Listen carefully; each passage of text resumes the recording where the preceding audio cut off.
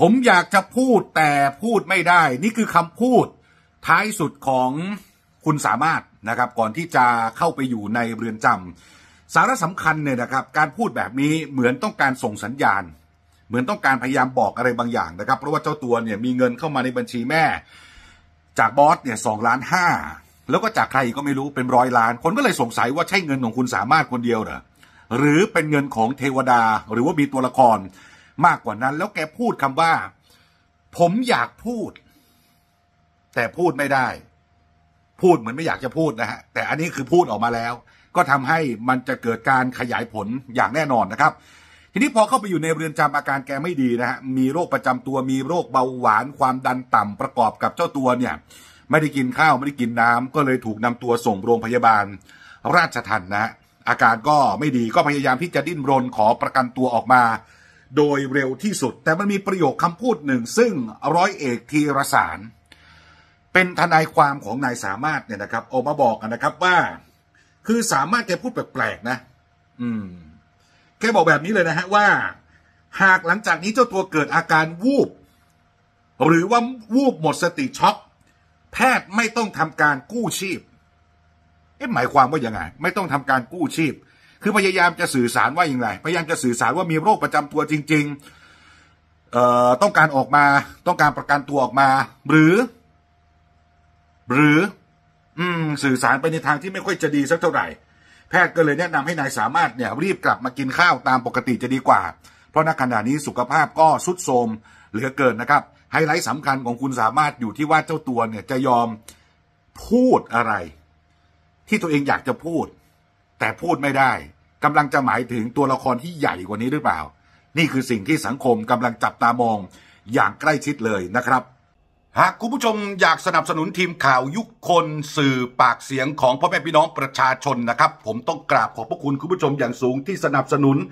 แหนมจากเมืองปัวจังหวัดน่านบ้านเกิดเมืองนอนของผมเองนะครับ ชุดละแค่เพียง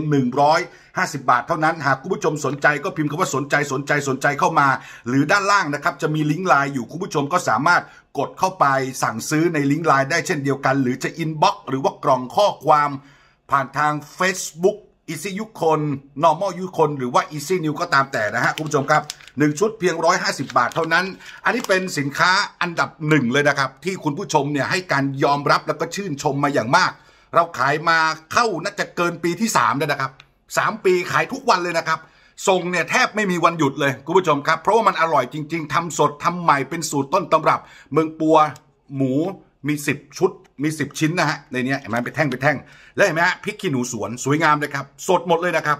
เนี่ยฮะแหนมยุคนตอนนี้โด่งดังมาก โด่งดังมากๆ ไปไหนก็มีแต่คนทักมีแต่คนรู้จักแล้วก็ชื่นชมนะครับ ทานกันได้หมดเลยนะฮะเนี่ยครับจะเอาไปกินสดๆหรือจะเอาไปเวฟก่อน หรือจะเอาไปย่างหรือจะเอาไปทอด หรือเอาไปผัดใส่ไข่นะฮะเนี่ยสูตรต้นตำรับของแท้แน่นอนนะครับ150 บาทขายมา 3 ปี ถ้าถ้าไม่ดีจริงเนี่ยนะครับ มันขายไม่ได้ทุกวันขนาดนี้อ่าสนใจพิมพ์ก็สนใจสนใจเข้ามานะครับ หรือเข้ามาในอ่ากล่องข้อความหรือด้านล่างครับ มีลิงก์ไลน์อยู่คุณผู้ชมสามารถกดเข้าไปสั่งซื้อได้ รับประกันความอร่อยคุณผู้ชมครับ รับประกันความอร่อยนะเนี่ยฮะอีกตัวหนึ่งครับคุณผู้ชมครับ นี่เป็นไส้อั่ว สูตรบ้านแม่เพื่อน อันนี้ก็จากจังหวัดน่านเหมือนกันนะครับ ผมกินมาตั้งแต่สมัยเป็นเด็กเป็นวัยรุ่นละนะครับ บ้านแม่เพื่อนคนนี้ก็ทำไส้อั่วโคตรอร่อยเลยคุณผู้ชมครับก็เลยเป็นที่มาที่เอามาทำนี่แหละครับหนึ่งชุดนะครับสองร้อยยี่สิบบาทอ่าหนึ่งชุดสองร้อยี่สิบาท มีสองแบบนะฮะมีแบบเผ็ดกับไม่เผ็ดนะคุณผู้ชมก็บอกทีมงานได้เลยนะครับ สนใจพี่ก็ว่าสนใจสนใจลิงก์ไลน์ด้านล่างก็มี หรือกล่องข้อความเพจ normal easy ยุคคนก็ได้นะครับนี่ฮะคุณผู้ชมครับหนึ่งชุดนะเนี่ยใหญ่ ๆ แบบนี้เลยนะครับ รายละเอียดเพิ่มเติมถามทีมงานถ้าสงสัยตรงไหนนะครับอร่อยจริง ๆ และที่สำคัญคืออะไรรู้ไหมทำสดใหม่ คุณผู้ชมสั่งมาเราก็เริ่มทำทั้งแหนมทั้งไส้อั่วนะครับ อันนี้ก็เหมือนกันขายมาสามสองสามปีละ น่าจะไล่ๆกับแหนมนะคุณผู้ชม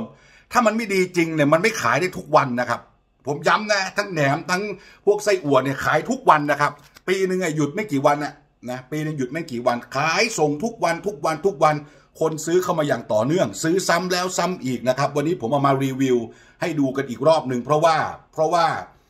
มันเป็นความสำเร็จมันเป็นความภาคภูมิใจของผมกับทีมงานเลยนะครับ ได้เอาของชุมชนมาขาย สนับสนุนดูแลชาวบ้าน มีหน้าที่การงานจ้างงานเด็กต่างจังหวัดหลายสิบคนนะครับ เท่านั้นไม่พอรายได้ยังเอามาทำข่าวนะจ้างทีมช่างภาพนัก ข่าวซื้ออุปกรณ์อุปกรณ์จ่ายค่าใช้จ่ายต่างๆนะครับ พูดก็พูดนะฮะกราบขอบพระคุณคุณผู้ชมอีกครั้งหนึ่งนะฮะผมก็ไม่รู้จะตอบแทนยังไง ก็ได้แต่หาของดีๆ ของที่มีคุณภาพจริงใจมาขายกับคุณผู้ชมนะครับ อร่อยแน่นอนนะครับ ไม่งั้น 3 ปีเนี่ยมันอยู่ไม่ได้ขนาดนี้นะครับเอ่อถ้าถ้าตอนขายปีแรก ๆ ก็อาจจะไม่กล้าโม้สักเท่าไหร่ แต่ตอนนี้เนี่ยกล้าพูดได้อย่างเต็มปากเต็มคำนะครับ ว่าสุดยอดมากๆคุณผู้ชมครับ อย่าลืมนะฮะไส้อั่วเป็นหมูนะครับ เป็นหมู คุณผู้ชมได้ไปจะเอาไปย่าง จะเอาไปเวฟจะเอาไปอุ่นด้วยวิธีการไหนเนี่ยได้หมดเลยนะครับ สนใจพิมพ์คำว่าสนใจสนใจสนใจเข้ามา หรือด้านล่างนะครับ จะมีลิงก์ไลน์อยู่ คุณผู้ชมก็กดเข้าไปสั่งซื้อในลิงก์ไลน์หรือกล่องข้อความเพจ Easy ยุคนหรือว่า normal ยุคนนะครับ หรือถ้าดูใน YouTube มันก็จะมีลิงก์ไลน์อยู่ด้านล่างนั่นแหละ คุณผู้ชมก็กดเข้าไปนี่ฮะคุณผู้ชม โอ้โหนะอันนี้ 220 บาท เน้นๆเลยคุณผู้ชมครับเนี่ยซุปเปอร์เนี่ย เนี่ยสองอันเนี่ยซุปเปอร์เลยนะครับผมนี่อาจจะขี้โม้นิดนึงนะ ผมว่าแหนมยุคนกับไส้อั่วยุคนเนี่ยไม่แพ้เจ้าไหนในประเทศไทยอะไม่แพ้เจ้าไหนในโลกอะใช่อย่างนี้ก็ได้เพราะมันเป็นของดีของประเทศไทยอยู่แล้ว แล้วมันเป็นมาจากพื้นที่อะคุณผู้ชมนึกออกไหมครับ คือคุณผู้ชมสั่งเข้ามาเราทำส่งทำสั่งทำส่ง สั่งทำส่ง มันก็เลยอร่อย มันก็เลยใหม่ แล้วผมทำไม่เยอะคุณผู้ชมครับ ผมทำไม่เยอะเลยนะครับ มีหลายคนบอกเว้ยทำไมไม่ทำให้มันเยอะขึ้นเอาเรายังไม่พร้อมขนาดนั้น เรายังเป็นห่วงเรื่องของคุณภาพเรื่องของรสชาติอยู่ 3 ปีครับนะรายได้สนับสนุนชุมชน สนับสนุนทีมข่าว จ้างงานต่างจังหวัดนะเป็นปากเป็นเสียงแล้วบางครั้งเนี่ยรายได้ช่วงไหนที่มันเหลือๆหน่อยผมก็จะเอาไปทำบุญอย่างเมื่อก่อนก็จะทำรถข่าวปันสุข ในช่วงที่เกิดวิกฤตโควิดนะแล้วพ่อแม่พี่น้องประชาชนคนไทยเนี่ยตกงานกันเป็นจำนวนมากนะครับอะมาดูอันต่อไปคุณผู้ชมครับ อันนี้ก็สุดยอดเหมือนกัน นี่นะน้ำพริกคู่กับแคบหมูชุดละ120บาท ชุดละ120บาทนะครับ น้ำพริกสูตรเมืองน่านเหมือนเดิมนะฮะมี2น้ำพริกนะให้เลือกก็คือน้ำพริกแมงดากับน้ำพริกปลาร้าทำสดใหม่เหมือนกันแมงดากับปลาร้าแคบหมูเนี่ยก็จะแถมเข้าไปให้นะแคบหมูจะแถมเข้าไปให้ชุดหนึ่งร้อยยี่สิบบาท แคบหมูใหม่นะฮะทำใหม่เลย แคบหมูเมียงอะ นะแต่จะเอาแบบว่าไม่ค่อยมีมันหน่อยนะช่วงนี้มันต้องดูแลสุขภาพนะถุงประมาณเนี้ยนะถุงประมาณมือผมเนี่ยนะครับ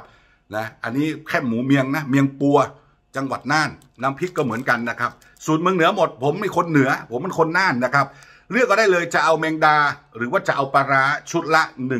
120 บาทนะครับชุดละ 120 บาทนะฮะสนใจก็พิมพ์คำว่าสนใจสนใจสนใจเข้ามานะครับ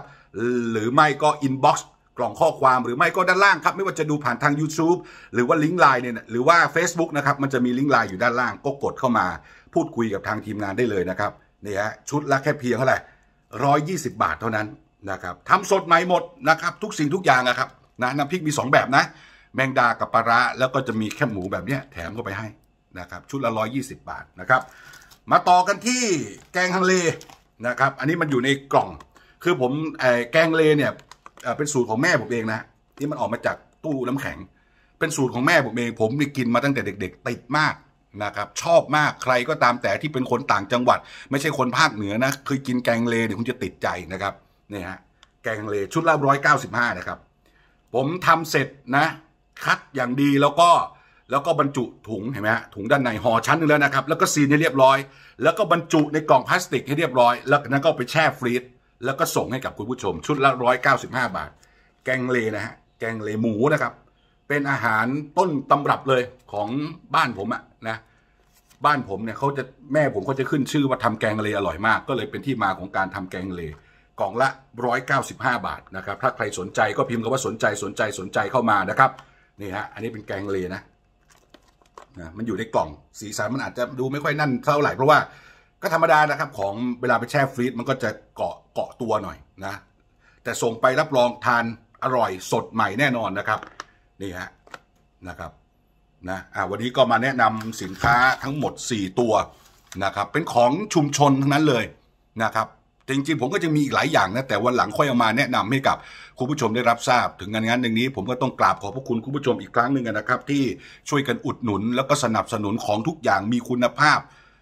ซีเรียส ผมใส่ความซีเรียสลงไปเหมือนกับที่ผมทำข่าวนี่แหละครับ กับทีมงานกับชาวบ้าน ของต้องมีคุณภาพสดใหม่แล้วก็อร่อย ไม่เช่นนั้นคงไม่อยู่มาเป็น 3 ปีนะฮะขายผมย้ำนะขายทุกวันเลยนะครับ สินค้านี่ออกทุกวันเลยส่งทุกวันส่งทุกวันนะครับ จนขึ้นมาเป็นอันดับต้นขึ้นมาเป็นถ้าเป็นสินค้าจำพวกชุมชนนะชุมชนในจังหวัดน่านเบอร์หนึ่งของจังหวัดน่านแหละครับ ที่ส่งออก ไปต่างจังหวัดผ่านทางไปรษณีย์นะครับ ของชุมชนนะ ของชุมชนก็คืออาหารการกินพื้นเมืองท้องถิ่นนะตอนนี้เราเป็นอันอีซิยุคนเป็นอันดับหนึ่งเป็นที่เรียบร้อยแล้วของจังหวัดน่านซึ่งเป็นเรื่องที่เราภาคภูมิใจเราเราประทับใจที่เราได้ทำงานประสบความสำเร็จ แล้วก็ได้ช่วยเหลือชาวบ้านด้วย ซึ่งทั้งหมดทั้งมวลจะไม่สามารถทำได้ ถ้าหากว่าคุณผู้ชมไม่สนับสนุนกันถึงขนาดนี้ กราบขอบพระคุณอีกครั้งหนึ่งครับ